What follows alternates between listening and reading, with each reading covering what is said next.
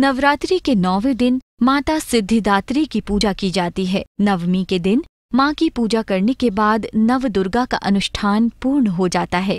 कहते हैं, माँ सिद्धिदात्री की आराधना करने से व्यक्ति को सभी प्रकार की सिद्धियाँ प्राप्त होती हैं और उसे सभी बुरे कर्मों से लड़ने की शक्ति मिलती है। माँ सिद्धिदात्री की आराधना से व्यक्ति की सभी मनोकामनाएँ पूर्ण होती हैं। माँ सिद्धिदात्री कमल के आसन पर विराजमान हैं, तथा माता सिंह की सवारी करती हैं। चार भुजाओं वाली माता सिद्धिदात्री के हाथों में कमल, शंख, गदा और सुदर्शन चक्र सुशोभित हैं, जो हमें बुरे कर्मों को छोड़कर सदमार्ग पर चलने की प्रेरणा प्रदान करता है।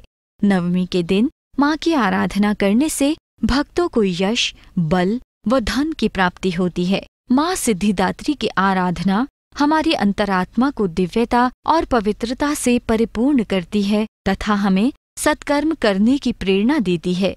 माँ की आराधना से हमारे अंदर ऐसी शक्ति का संचार होता है, जिससे हम तृष्णा व वासनाओं को नियंत्रित करने में सफल रहते हैं तथा जीवन में संतुष्टि की अनुभूति करते हैं। आज के दिन माँ दुर्गा के सिद्धिदात्री रूप की उपासना से हमारी अनियंत्रित महत्वाकांक्षाओं की पूर्ति होती है। नवरात्रि में सभी देवियों को प्रसन्न किए बिना माता सिद्धिदात्री की प्राप्ति नहीं की जा सकती है। सिद्धिदात्री, या श्री ही स्वयं स्कृतिनाम भवनेश्वर लक्ष्मी ही, पापात्मनाम कृतधियाम हृदयेषु बुद्धि ही श्रद्धा सताम कुलजन प्रभवस्य लज्जाताम त्वाम नताः, स्म परिपालय देवी विश्वम। जय माता दी। आप देख रहे हैं जयपारस का बेहद विशेष कार्यक्रम। नौ दिन नवरात्र के, और मैं हूँ आप सभी के साथ आशीष तिवारी। दर्शकों, नौ दिन नवरात्र में माँ नौ दुर्गा के अलग अलग रूपों की चर्चा की जा रही है। माँ की किस तरीके से पूजा की जानी चाहिए? किस तरह से, किन मंत्रों का जाप करने से हमारे घर में सुख और शांति का वास होगा? और अगर हम विद्यार्थी हैं तो हमें विद्या अध्ययन के लिए, विद्या विद्यापार्जन के लिए किस तरीके से हमें साधना करनी चाहिए? और हम दिन ब दिन सफलताओं की तरफ़ आगे बढ़ें। इस पूरे नवरात्र में हम यही चर्चा कर रहे हैं और माँ की साधना, शक्ति स्वरूपा का ये विशेष पखवाड़ा चल रहा है। ये दो बार आता है। पहला तो जैसा कि पंडित जी ने इसके पहले भी कार्यक्रम में हम आपको बताते चले हैं कि चैत्र नवरात्र होता है और शारदीय नवरात्र होता है। आज हम आखिरी दिन नवमी का दिन है, माँ सिद्धदात्री को पूजेंगे और अर्चना, वंदना करेंगे। हर बार की तरह इस बार भी हमारे साथ मौजूद हैं हमारे स्टूडियो में पंडित दिलीप जी शास्त्री। दिलीप जी से मिलेंगे। पंडित जी, आपका बहुत बहुत स्वागत है। पंडित जी, आज के दिन की महिमा की अगर हम बात करें, माँ की स्वरूप की बात करें, सिद्धदात्री माँ की बात करें तो कैसे हमारे दर्शकों को आप बताएँगे? जय माता दी, दर्शकों, जय पारस चैनल के माध्यम से आप सभी लोगों को नौ दिन नवरात्रि के इस महा एपिसोड में आप सभी लोगों का स्वागत है। मैं आचार्य पंडित दिलीप जी महाराज चित्रकूट धाम से। जैसा कि आपने प्रश्न किया कि निरंतर व्यक्ति नौ दिन तक भगवान, माँ भगवती की पूजा करता है और पूजा करने के बाद नौ दिन उसका पूजन कैसे करना चाहिए तो बहुत अच्छा सारगर्भित आपका प्रश्न है। इस प्रश्न के बारे में मैं आपको बताना चाहूँगा। कि वास्तव में अष्ट वर्षा भवेद गौरी नौ वर्षे तो कन्या। आठ वर्ष और नौ वर्ष और दस वर्ष की कन्याओं का पूजन करने का विधान होता है। द्वादशे वर्षे अथ स्त्री रजस्वला। बारह वर्ष के बाद वह कन्या कन्या नहीं रह जाती है। वह स्त्री रजस्वला के रूप में होती इसलिए भक्तों आप सभी लोग पाँच वर्ष आठ वर्ष और ग्यारह वर्ष की कन्याओं का पूजन करें। जी। ये जो नौ दुर्गा है, नौ दुर्गा का जो हमने पाठ किया, पूजन किया, व्रत किया, उपवास किया, जो भी दान धर्म किया तो वास्तव में इसका जो भी सारा फल है, वो एक जगह इकट्ठा हो गया। और वह कौन सी जगह इकट्ठा हुआ? नवम सिद्धिदात्री चा। यानी नौवीं जो रात्रि होती है वह बड़े बड़े सिद्धि जनों की रात्रि होती है।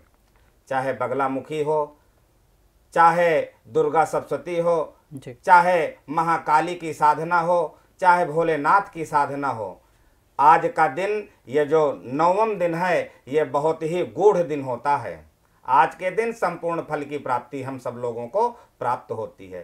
कहाँ तक बतावें? नवग्रह के सताए हुए भी जो मनुष्य आज माँ भगवती के श्री चरणों में प्रणाम करते हैं वास्तव में उन्हें माँ भगवती की अपार कृपा होती है। कुपुत्रो जाएता क्वचित दपि कुमाता न भवती। पुत्र सदैव कुपुत्र हो जाता है लेकिन माता, माता कभी कुमाता नहीं, नहीं होती, होती। आज के दिन नौ पत्ते सामने माँ भगवती के रख देना चाहिए। नौ पत्ते में तीन तीन सिंदूर का टीका लगाना चाहिए और उन नौ पत्तों के ऊपर एक एक जायफल रख दें। जायफल रखने के बाद उन पान के पत्तों में नौ दीपक छोटे छोटे के रखें एक एक का सिक्का रख दें। इस प्रकार से माँ भगवती सिद्धदात्री का पूजन किया जाता है। यदि हो सके तो ब्राह्मण घर से कोई पाँच वर्ष आठ वर्ष अथवा नौ वर्ष की कन्या हो तो उनको नौ कन्याओं को वहाँ पर बैठाने का विधान होता है। इस प्रकार से यदि हम इन समस्त भगवती के श्री चरणों में प्रणाम करते हुए नौ दुर्गाओं का पूजन करते हैं तो वास्तव में हमारी हर प्रकार की मन की मनोकामनाओं की पूर्ति होती है। पितृलोक में रहने वाले पितृ देवता और मृत्यु लोक में रहने वाले हमारे समस्त बंधुजन उनको भी आनंद की अभिभूति होती है। गुरु जी एक चीज़ ये भी होता है कि जब नौ दिन हम पूजा अर्चना करते हैं तो आज आखिरी दिन, नवे दिन सददात्री माँ की जब बात आती है तो ये कहता है कि लोग कहते हैं, हमारी ऐसी पद्धति भी है कि नौ कन्याओं का, जैसे आपने अभी ज़िक्र किया तो कन्याओं का यहाँ पे अगर पूजन और उन्हें जो कन्या खिलाने की बात कही जाती है, इसके पीछे का कुछ अगर कथा है या कुछ इतिहास है तो अगर हमारे दर्शकों को बताएँगे जो युवा पीढ़ी है मेरा एक ही तात्पर्य इस कार्यक्रम से है कि हमारे जो बुज़ुर्ग हैं जो हमारी पीढ़ी सनातनी पद्धति के चले आ रहे हैं उनको तो पता है लेकिन हमारे युवा जो लोग हैं उनको भी जानकारी होनी चाहिए कि आखिर नौ दुर्गा की पूजा किस लिए की जाती है और ये कन्या आपने जैसा कि बताया कि 11 साल तक की कन्याओं का भोग कराया जाता है तो इसके पीछे का विशेष क्या है? वास्तव में ये जो हमारी नवरात्रि होती है नवरात्रि का पूजन करना बहुत ही कठिन कार्य होता है। ये तपस्या है और नौ दिन निराहार रह करके माँ भगवती का पूजन अर्चन करना। देखिए जो नौ कन्याएँ होती हैं तो नौ कन्याओं का प्रचलन आज से नहीं बहुत पुराने समय से चला आ रहा है। जी। आपने गोरखनाथ का नाम सुना होगा। जी। मच्छंदर नाथ का नाम सुना होगा। भैरवनाथ का नाम सुना होगा। ये पद्धति तभी से हमारी चली आ रही है। माँ भगवती ने हमारे ऊपर उपकार इसलिए किया कि हमारा पूरा जो सृष्टि का उपक्रम था बड़े बड़े राक्षसों से अभिभूत था।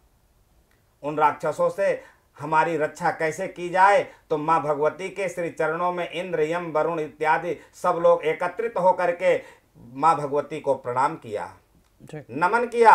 और जब नमन किया तो नमन कर ही रहे थे कि वहाँ पर हम सभी लोगों के पितामह श्री ब्रह्मा जी आ गए। ब्रह्मा जी को इंद्र ने देखा तो प्रणाम किया बोले पितामह कौन सा ऐसा उपाय किया जाए कि हमें समस्त सृष्टिवासियों का कल्याण हो सके? ब्रह्मा जी ने कहा कि कोई बात नहीं चलो हम लोग नारायण का पूजन करते हैं नारायण का ध्यान करते हैं और नारायण का ध्यान किया गया तो भक्तों वहाँ पर नारायण भी आ गए। नारायण ने कहा कोई बात नहीं हम लोग सभी महाकाल की पूजा करेंगे और महाकाल का आवाहन किया गया भक्तों। तो तीन देवताओं का जो समावेश हुआ वहाँ पर तो एक तेज का पुंज निकला। जब वह तेज का पुंज निकला और समस्त देवी देवता लोग जो वहाँ पर एकत्रित हुए थे उनके शरीर से भी एक एक तेज का पुंज निकला और वह पुंज एक स्त्री के रूप में परिवर्तित हो गया। वह कोई साधारण स्त्री नहीं थी बंधुओं वो साक्षात माँ भवानी जगत जननी माँ पराम्बा जगत जननी दुर्गा माता ही थी बोलिए दुर्गा मैया की। जय। दुर्गा ही माँ भगवती का नवा स्वरूप होता है। माँ भगवती दुर्गा जी ने अट्टाटहास हसा शिवदूती चकार सहा और इस प्रकार से गर्जना करने लगी। शेर पर सवार हैं और उनका शेर का मुख ऐसे खुला मानो पूरे ब्रह्मांड को वह शेर निगल जाना चाह रहा हो। बार बार घुर घुर की आवाज़ करता हुआ दहाड़े मार रहा है तो तीनों लोकों में उसके शब्द कहीं समा नहीं पा रहे हैं। माँ भगवती सिंह पर विद्यमान होकर के उनके शरीर सिर के ऊपर जो एक मुकुट लगा था वह आकाश मार्ग को रेखांकित कर रहे थे। ऐसा लग रहा था मानो माँ भगवती के उस मुकुट से इंद्रकार धनुष बन रहा हो। माँ भगवती का वह प्रलय कालीन स्वरूप को देख करके सभी देवता लोग नतमस्तक हो गए, त्राही माम त्राही माम त्राही माम करने लगे। इस प्रकार से माँ भगवती ने अपना वह स्वरूप लघु किया, अर्थात छोटा किया, और महिषासुर मही माने पृथ्वी और सुर माने देवता, जो पृथ्वी का सबसे बड़ा असुर था वह कौन था? महिषासुर। सुराणाम वही नमः। तो महिषासुर का वध किया रक्तबीज इत्यादि का वध किया चंडमुंड का वध किया और समस्त भूमंडल को एक सुंदर वातावरण प्रदान किया है। और इतना ही नहीं आज के दिन ही ये जो नौवीं रात्रि है नवम सिद्ध दात्री है आज के दिन मर्यादा पुरुषोत्तम श्री राम ने माँ की कृपा से जी। माँ की कृपा से लंका के ऊपर विजय की प्राप्ति पाई थी और माँ भगवती जगत जननी सीता मैया को लेकर के, माँ भगवती जगत जननी सीता मैया को लेकर के जब राम जी आए हैं तो आज वास्तव में यह विजया रामनवमी के नाम से जाना जाता है।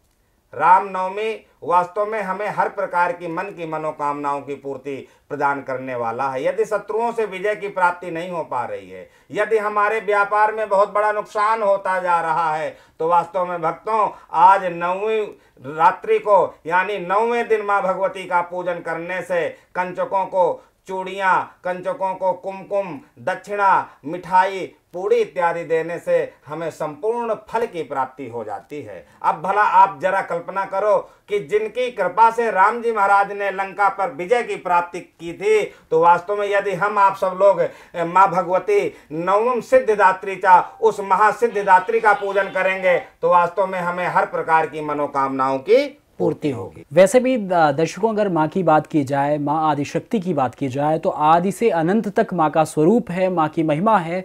हम उनका बखान जितना भी करेंगे, वो कम ही है। पर गुरु जी एक चीज़ ये भी जानने की इच्छा है कि जो अलग अलग तरीके से पूजा, अर्चना करते हैं, माँ के मंदिर में जाते हैं, हवन इत्यादि होती है आज के दिन। जैसा कि अगर जो व्यवसायिक लोग हैं, उनके बारे में अगर मैं जानना चाहूँ कई हमारे ऐसे दर्शक होंगे जो व्यवसाय अपना करते होंगे, लेकिन आज के दिन, आज नवमी है। नवमी के दिन किस तरीके से, जो नौ दिन तक मान लीजिए अगर पूजा अर्चना नहीं किए हैं, आज पूजा अर्चना करने से बराबर का फल उन्हें कैसे प्राप्त होगा, आप अपने हिसाब से बताएँ, धर्म के धर्मोच्युत के हिसाब से बताएँ कि क्या कुछ करें, उनको बराबर का फल मिले। धर्मो रक्षति रक्षता। यदि धर्म है तो हम हैं। वास्तव में जो व्यक्ति नौ दिन तक माँ भगवती का पूजन नहीं कर सके तो क्या हुआ? कोई बात नहीं। हम्म। माँ भगवती ने एक मौका हमें और प्रदान किया है। वह मौका ऐसा है कि न वेद ध्वनि गर्जतानी। जिस घर में कभी वेद मंत्रों के ध्वनि की गर्जना न होती हो हम्म। न विप्रह पाद प्रक्षालनानी इस प्रकार से यदि हमने आठ दिन तक माँ भगवती का पूजन यजन इत्यादि नहीं किया तो कोई बात नहीं। नौवे दिन आप करें। किसी वेद पाठी ब्राह्मण, सुयोग ब्राह्मण को आप अपने घर में ला करके शांति पाठ को श्रवण करें। शांति पाठ को श्रवण करने के बाद अगर तगर काले तिल जौ, इंद्र जौ छाड़ छबीला चंदन कपूर कचरी इत्यादि ये सारी सामग्री माँ भगवती के ए, सामने सम्मुख रख देना चाहिए और संकल्प बद्धित तरीके से नौ ब्राह्मणों का पूजन करने से और नौ ब्राह्मणी पुत्री होनी चाहिए। यदि उनका पूजन कर दिया जाए और उतनी समय सिर्फ़ दुर्गा सप्तती का एक पाठ यदि नौ ब्राह्मण किए देते हैं तो वास्तव में हमें संपूर्ण नवरात्रि के फल की प्राप्ति सिर्फ़ एक ही दिन में हो जाती। है तो पंडित जी मन में ये ख्याल है आज आखिरी दिन है। आज के दिन माँ को जो हवन करने की आपने विधि बताई अगर वो सरल विधि बताते जिनसे जो नौ दिन व्रत करने वाली महिलाएँ हैं चाहे वो पुरुष हैं घर में परिवार के साथ में किस तरीके से हवन करें और क्या कुछ विधि हो जिससे संपूर्ण फल और माँ नवो देवी को मना सके और हवन कर सके। खड्गं चकृगदेषु चापपरिघां चूलम्भुशुण्डीं शिरः शङ्खं सन्दधतीं करैस्त्रिनयनाम् सर्वाङ्गभूसावृतां नीलास्माद्युतिमास्य पाददशकाम् सेवे महाकालिकां यामास्तौ स्वपिते हरो कमलजो हंतुम मधुम कैटभम जय पारस चैनल के माध्यम से देश विदेश में देख रहे हमारे अनगिनत श्रोता बंधुओं मेरी माताएँ और बहनें बुज़ुर्ग साथियों। जैसा कि हमारे तिवारी जी ने प्रश्न किया कि वास्तव में हवन क्या है? आज मैं हवन के बारे में ज़्यादा समय नहीं है लेकिन फिर भी कम समय पर आपको बहुत बड़ा विधान बताने वाला हूँ। हवन क्यों किया जाता है? आपने नौ दिन तक माँ भगवती का पूजन किया है लेकिन वास्तव में जब तक जो व्यक्ति हवन नहीं करता है तो वह पूजा हमारी निष्फला भवेत निष्फल हो जाती है। हवन अर्थात भगवान को उस भगवती को उस देवी को भोजन कराना होता है। स्वा और हा। स्वा में देवताओं का मुँह खुल जाता है और हा में बंद हो जाता है। इसलिए जिस प्रकार से एक माता अपने शिशु को अर्थात अपने बच्चे को थोड़ा थोड़ा सा ग्रास लेकर के मुख में डालती हैं कि कहीं मेरे बच्चे के मुख में ज़्यादा न चला जाए, उसी प्रकार से हर यजमान को, प्रत्येक भक्त को चाहिए कि मृगी मुद्रा में माँ भगवती का एक एक आहुति छोड़नी चाहिए। आहुति किस चीज़ की बनानी चाहिए, उसके बारे में हम आपको बताते हैं। अगर तगर हवन सामग्री आजकल बनी बनाई आती हैं उसे शुद्ध देसी गाय के घी के द्वारा उसको मोह लेना चाहिए। शुद्ध आम की समिधा अर्थात आम की लकड़ी होना चाहिए और इस प्रकार से सुंदर वेदी का निर्माण कराना चाहिए। वेदी का निर्माण कराने के बाद एक यजमान घी की आहुति डालें और यजमान की पत्नी सामग्री की आहुति डालें। स्वाहा स्वाहा ज़रूर बोले क्योंकि स्वाहा कहने से ही सारे पाप नष्ट हो जाते हैं। अब भला आप ही जरा कल्पना करो कि हमने नौ दिन तक जिसका पूजन किया और नौवें दिन उसको हम बगैर कुछ खिलाए पिलाए यदि हम विदा कर देंगे तो उस विदा होने वाले व्यक्ति को कैसा लगेगा? इसलिए पूड़ी हलवा की भूखी नहीं होती है माँ भगवती दक्षिणा की भूखी नहीं होती फल फ्रूट की भूखी नहीं होती हैं। अरे जिनके रोम रोम में कोटि कोटि बसत ब्रह्मांड हैं जिनके एक एक रोम में करोड़ों करोड़ों ब्रह्मांड उन करोड़ों में से एक ब्रह्मा के, के रोम में देखा जाए तो उसमें भी कोटि कोटि ब्रह्मांड उत्पन्न हो जाते हैं जिनकी धर्म पत्नी स्वयं अन्नपूर्णा है उस नारायण को और जिसकी बहन स्वयं लक्ष्मी है तो उसे हम क्या लक्ष्मी अर्पण कर सकते हैं? जिसके रोम के बराबर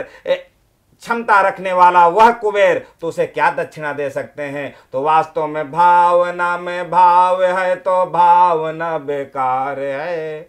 भावना में भाव नहीं तो भाव से वेड़ा पार है। तो माँ भगवती, ये चढ़ावा, ये चढ़ोतरी, ये ढोंग, ये तमाशा की भूखी नहीं है। माँ भगवती तो वास्तव में भूखी है तो सच्ची श्रद्धा और सच्ची भक्ति और निष्ठा से माँ भगवती को प्रसन्न किया जा सकता है। अगर माँ भगवती फल, फ्रूट, मेवा, मिष्ठान में प्रसन्न होने लगती तो हम आप सब लोग दस, बीस, पचास किलो ले जा करके चढ़ा देते और अपने मन की कामनाओं की पूर्ति है तो माँ भगवती से कहते और माँ भगवती वो कामना हमारी पूरी कर देती है ऐसा होता है क्या? ऐसा कभी नहीं हो सकता है। होगा जब ही जब आप माँ भगवती की भाव सहित भाव रहित नहीं भाव सहित पूजा करेंगे सच्ची श्रद्धा से करेंगे। नहीं वास्तव में ये लाखों लाखों रुपए का हमारा जो चढ़ोतरी है चढ़ावा है ये सब व्यर्थ हो जाता है जब तक हमारे भाव सच्चे नहीं है। इसलिए माँ भगवती को भोग लगाने के बाद और उस दिन जिस दिन विदा करें माँ भगवती को, उस दिन पूरे बंधु बांधवों के सहित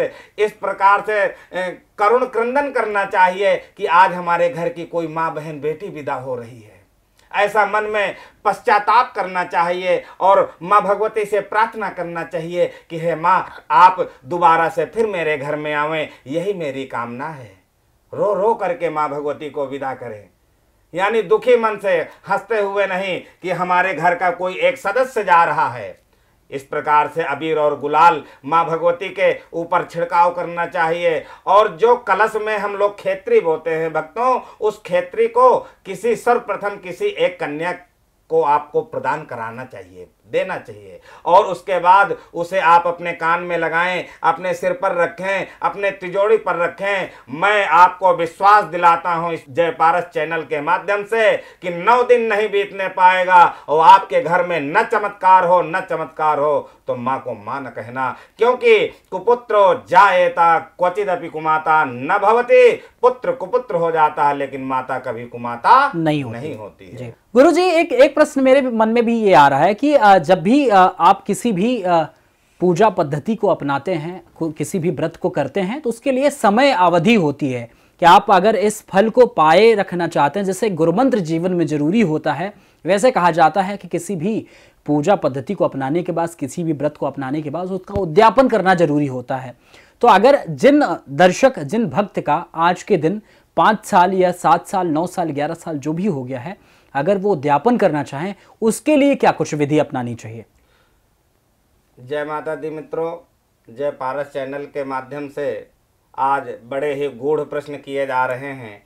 कि वास्तव में ये बड़ी सोचनीय बात है कि हम लोग पाँच साल से नवरात्रि का व्रत रख रहे हैं, दस साल से रख रहे हैं। किसी किसी को इक्कीस इक्कीस साल और किसी किसी को ताउम्र भी इस व्रत को करते हुए हो जाता है। लेकिन इस व्रत का समापन कैसे किया जाए?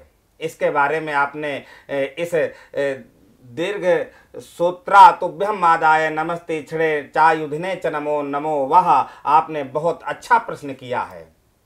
मैं आपको बताना चाहूँगा कि वास्तव में जब तक किसी व्रत का उद्यापन न किया जाए तो वह व्रत का फल हमें प्राप्त नहीं, नहीं होता, होता है। अगर कोई भक्त माँ भगवती के इस नवरात्रि का उद्यापन करना चाहे तो आप उसके लिए एक डायरी में एक पेन से जो है आप लिख लें। आप लिख भी सकते हैं कि रोली कलावा चावल धूप फल फूल मिठाई इत्यादि यथोचित सामग्रियों को एक अपने सामने एकत्रित कर देना चाहिए। सुंदर मंडप बनाना चाहिए। मंडप के ऊपर उसमें माँ भगवती श्री नव दुर्गा की मूर्ति रखनी चाहिए। ध्यान रखें कि शेर का मुख कभी खुला नहीं, नहीं। होना चाहिए। घर की जो मूर्तियाँ होती हैं हम्म। उसका मुँह बंद हो। जी।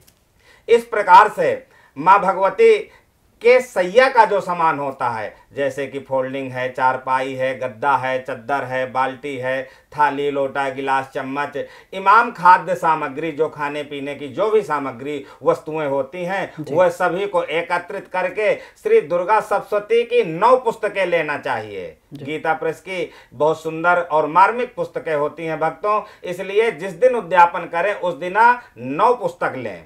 और नौ पुस्तक लेकर के उसमें कुछ यथोचित दक्षिणा रख करके और सैया में रख करके उसे विधि और विधान के साथ पूजन करके किसी आचार्य को, किसी अपने कुल पुरोहित को या किसी मानदान को उस सामग्री को देने से हमें संपूर्ण फल की प्राप्ति हो जाती है और माँ भगवती की अपार कृपा होती है। गुरु जी ने बहुत ही अच्छे तरीके से बताया कि किस तरीके से उद्यापन करना चाहिए और जीवन में अगर सफलता पानी है, चाहे वो धर्म चित्त के हिसाब से तो गुरु का सानिध्य होना बहुत ज़रूरी है। दर्शकों गुरु जी एक निवेदन करें हम अपने दर्शकों से कि आज के दिन अगर आहुति की हम बात करते हैं तो अगर हम साकले के सामने और आहुति देने की स्थिति में अगर हम आ गए हैं तो इस बार हमें आज आखिरी दिन है। माँ नवदुर्गा से ये याचना करनी चाहिए, ये वंदना करनी चाहिए कि हे माँ, आज के दिन हम सनातन पद्धति के आधार पर संकल्प लेना चाहिए कि हम अपने इस पद्धति को मानेंगे और इस जो हमारे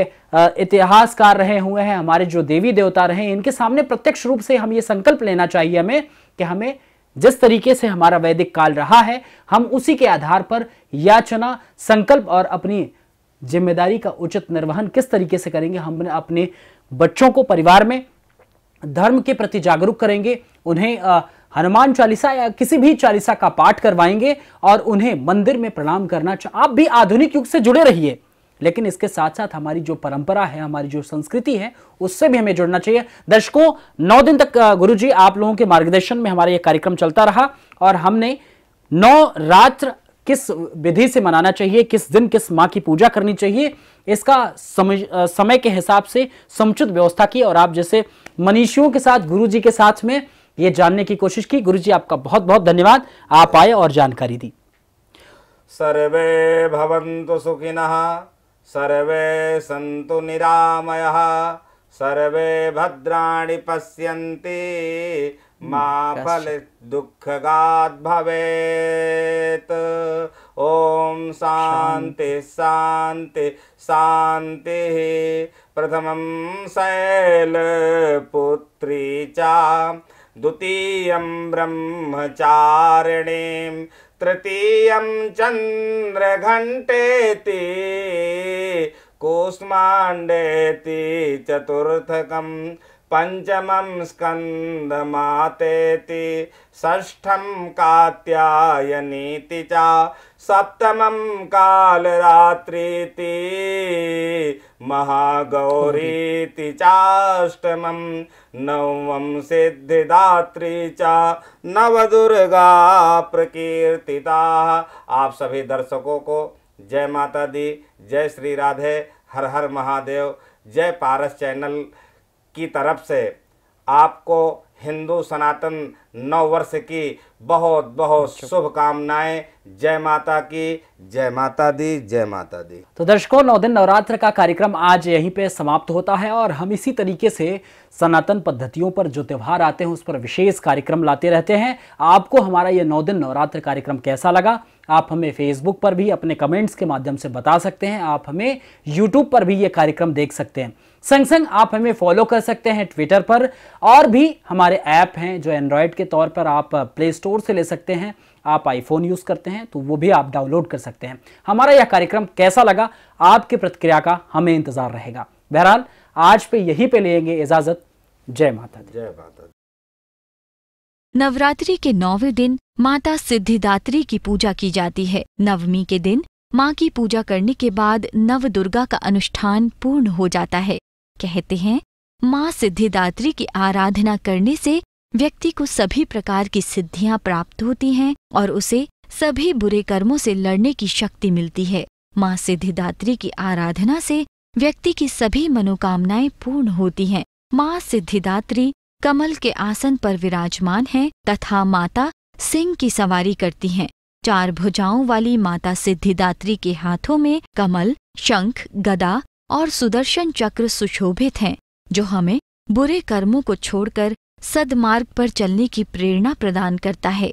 नवमी के दिन माँ की आराधना करने से भक्तों को यश, बल व धन की प्राप्ति होती है। माँ सिद्धिदात्री की आराधना हमारी अंतरात्मा को दिव्यता और पवित्रता से परिपूर्ण करती है तथा हमें सत्कर्म करने की प्रेरणा देती है। माँ की आराधना से हमारे अंदर ऐसी शक्ति का संचार होता है जिससे हम तृष्णा व वासनाओं को नियंत्रित करने में सफल रहते हैं तथा जीवन में संतुष्टि की अनुभूति करते हैं। आज के दिन माँ दुर्गा के सिद्धिदात्री रूप की उपासना से हमारी अनियंत्रित महत्वाकांक्षाओं की पूर्ति होती है। नवरात्रि में सभी देवियों को प्रसन्न किए बिना माता सिद्धिदात्री की प्राप्ति नहीं की जा सकती है। सिद्धिदात्री या श्री ही स्वयं स्कृतिनाम भवनेश्वर लक्ष्मी ही पापात्मनाम कृतधियाम हृदयेशु बुद्धि। ही श्रद्धा सताम कुलजन प्रभवस्य लज्जाताम त्वाम नताः। स्म परिपालय देवी विश्वम्।